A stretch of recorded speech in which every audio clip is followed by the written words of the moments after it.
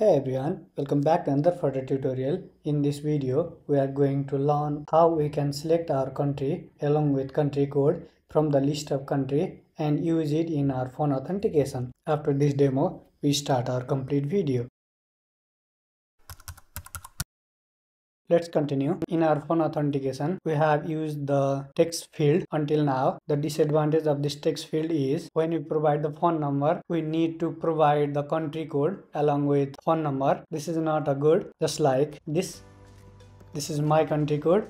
If I need to send the OTP code in my phone number, first I, I need to provide my country code. After that, the phone number. Instead of that, we use the package that provide us the country code. If we select any country then it's provide its flag and country code. For that we use the intel phone field. It's provide us the country code just like that. For that you need to add this package in your system. I have already add you can see.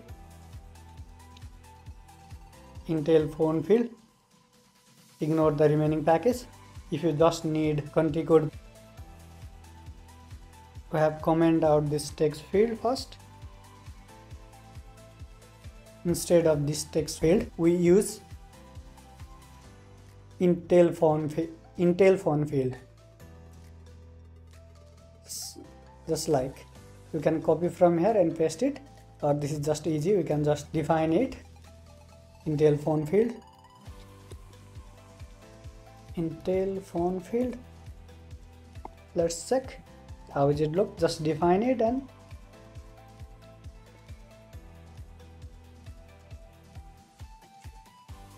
you can see. Now we have decorate our field. Decoration. Input decoration. Inside this we have just defined the border. Outline input border inside that border side and just define the border side. After that save it and let's see how is it look. And the another thing is in text for that we define the label text. It's look good then other phone number. That's it. And you can see phone number and this phone number goes on the top. And if we click on this you can click on this drop down or you can also click on this flag only. And you can easily select your country. Just easy. And you can search your country as well or you can customly select your country. App source my country. Can see. Let's try. This is not just a UI we have already authenticate our phone number. Let's provide I'll provide my phone number and send the OTP code.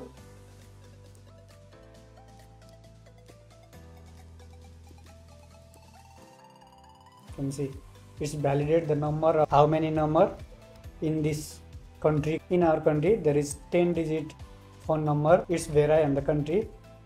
If we select another country and let's see afghanistan there only the 9 digit number are there. Go back and select nepal and check check our functionality. And i have pressed on send code.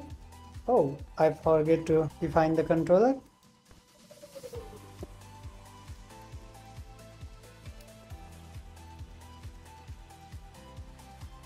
and let's restart.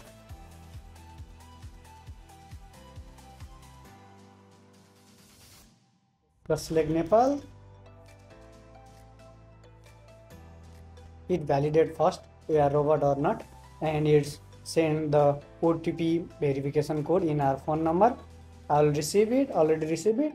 Now I'll provide it. 245047 is my OTP and if I press the verify OTP you can see congratulations. This all the function is working and country code picker is also working. I hope you are learn the new things in this video. Thanks for watching